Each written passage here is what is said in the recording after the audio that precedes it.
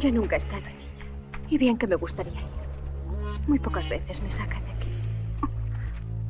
Sois una mujer muy hermosa. Si yo fuera vuestro marido, no os abandonaría ni un minuto. Por piedad, no me habléis así. 一个导演啊，偶尔自肥一下不为过，但每一部电影都要自肥，那就有点令人发指了。今天艾伦的全网首发，带来我们的老朋友保罗纳什自导自演的1979西班牙恐怖电影《旅客》，又名《恶魔化身》。这是他拍过的电影里自肥的最为丧心病狂的一部。本片生肉之番，蓝光剪辑。马德是一个独行游侠，说白了就是一个江洋大盗。这件披风还是昨天干掉一个没落贵族后扒的。人家还好心的分享吃喝给他，路过瓜田的时候，当着拉粑粑的瓜农就明抢，就连随从法克也是他抢来的，从一个恶毒的瞎眼老头那里。昨晚他们借宿在了一个好心的农夫家里，一大早的，农夫就下了地，他不怀好意的眼光就盯上了他貌美的老婆侯丽。作为信徒的他，隐隐感到了不安。但随后，在他的一曲琴声里，女孩渐渐的沉沦，这些都是那个木讷丈夫给不了的。他的右腿瘸了，那是几年前一场割舍的事故。可马德毫不在意，这让侯丽感动坏了。他就如同恶魔上了身，享受起了禁忌的快乐。可很快，他就露出了獠牙。我从来不会免费给人快乐，所以啊，你得给我 money。在匕首的威胁下，吓坏的女孩拿出了所有积蓄。那是秋天准备购买小麦的。她苦苦的哀求，可马德心狠手辣，给她刻上了标记。他通常给他的牲口这样做。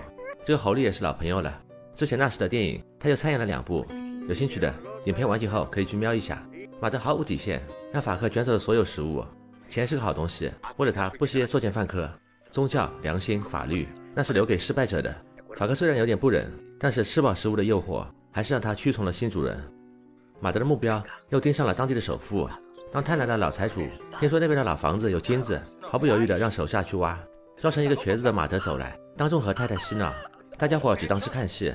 等到法克甩掉了人回来。马德就袭击了剩下的家丁，抢走了他们所有的金币、珠宝和衣服，还有一头骡子。老财主看中了意外之财，没想到劫匪看中了他的棺材本。不得不说，有点讽刺啊！有钱就好办事了。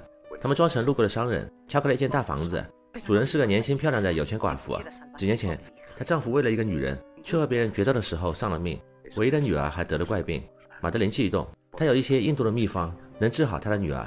他要的回报就是和夫人春宵一度。自从丈夫过世，她也从来没有过男人。为了女儿，她咬牙答应下来，只要能治好，让她做什么都行。也不晓得马德用了什么法术。第二天一早，女儿果然痊愈了。夫人激动地亲吻她，这个男人太神了。好消息传来，就连法克也受到了款待，从马厩搬到了房子里，好吃好喝的伺候。当晚该是夫人兑现承诺的时候了。她极力地掩饰内心的慌乱。作为一个贵族，她必须遵从守信的品德。耻辱的眼泪缓缓滴落，渐渐的。他也不再抗拒，马的人品不咋地，对付女人的魔力是真有一套。晨光洒进窗户，该是他告别的时候了。这一次他没有想要更多，这个善良的家庭让他不忍下手。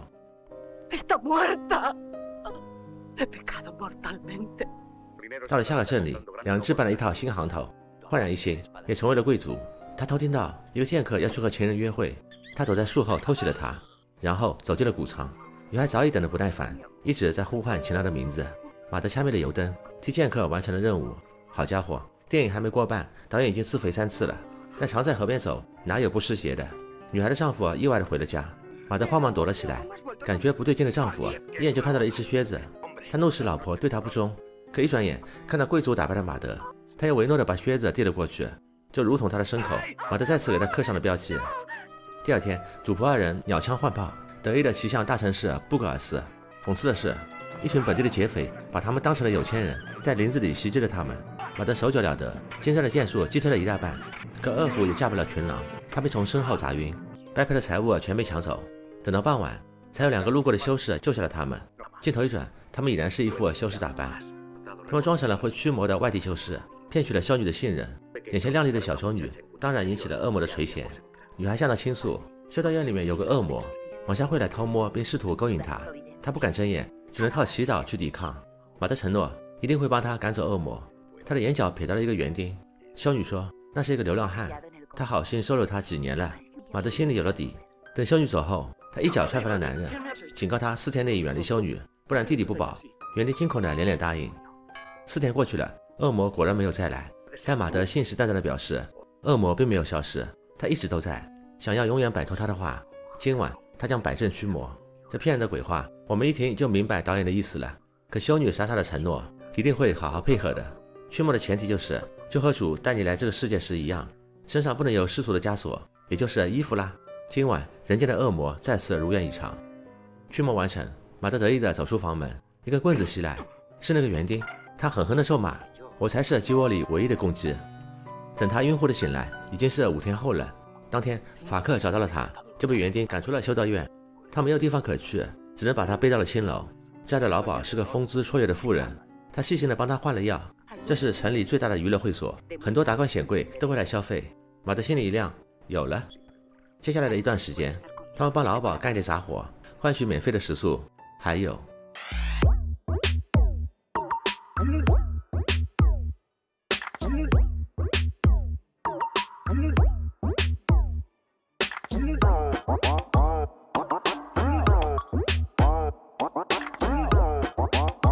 好家伙，都自肥到加速了！导演啊，你也真的是太不爱惜自己的身体了。法克跟他一起雨露均沾，直到差点被掏空。法克憧憬美好的未来，可马德话锋一转，人间到处都是炼狱，根本没什么未来。他让法克躺下，钻进了他脑子，让他看到了未来的模样。天哪，原来他真是恶魔本尊！未来战争不断，炮火连天，人们饿殍满地，集中营原子弹葬送了无数的性命。被惊醒的法克满脸的惶恐。Mi señor Leonardo, ¿quién sois? No soy nadie. 马德，no，应该说是恶魔毫无倦意，又敲开了老鸨的房门。第二天傍晚，会所举行了一个大派对，城里的有钱人都来了。看着纵情在色欲和贪食里的男人，马德暗暗地打量着他们的钱袋。一个油腻的胖子看中了法克，他能给到一百金币，这一大笔钱让老鸨和马德都心动了，直接把法克给卖了。半夜的时候，狂欢的男女全都倒了下来。马德和老鸨把金币分了，可他还想要更多，逼迫老鸨灌下了两壶酒后倒地不醒。他卷走了所有的钱。还记得那个贵族寡妇吗？那天马德走后不久，就发现自己怀孕了，十月怀胎，生下了一个儿子。哎呦，撒旦的孩子！女王觉得应该及早铲除祸根，可爱子心切的夫人不舍得，让他发誓不能加害于他。随后傍晚时迈上楼梯，扑通。被胖子带走的法克整天郁郁寡欢，他痛恨那个把他卖掉的恶魔。在手下的帮助下，他终于找到了马德。既然世界末日不可避免，那他也想通了，何不就此开始享乐？他命令手下往死里打，打断他的每一根骨头，然后把他绑了起来，和受苦受难的耶稣面对面。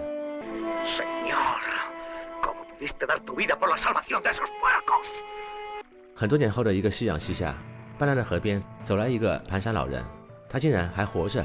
瞎了一只眼的他已经很难作威作福，随便一些小毛贼都能抢他一次。好不容易找了个地方，他烤起了偷来的牛肉，又想动，他警觉地站起来，只是一个看着很面善的年轻人。他放松了警惕，招呼他坐下，一起分享食物的时候，给他讲了一个故事。有一天，地狱的恶魔突发奇想，想要来人间走一遭。他放弃了不死肉体，无恶不作，偷抢掳掠。可临了，他被人暗算，之前的所有行为都被反噬。年轻人由衷的赞叹。这真是一个好故事。突然，猛地一脚飞去，噗呲，就如同他刚来人间时一样。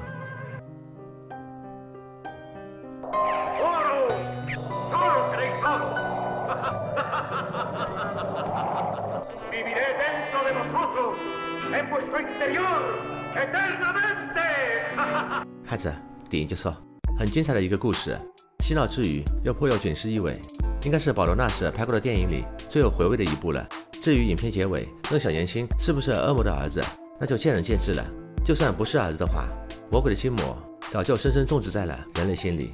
一九七九西班牙恐怖电影《旅客》，剧情三颗星，卡斯四颗星，哇塞五颗星，综合评分四颗星。七零年代最值得一看的西班牙电影之一。我是艾伦，我是雷克萨，们下位。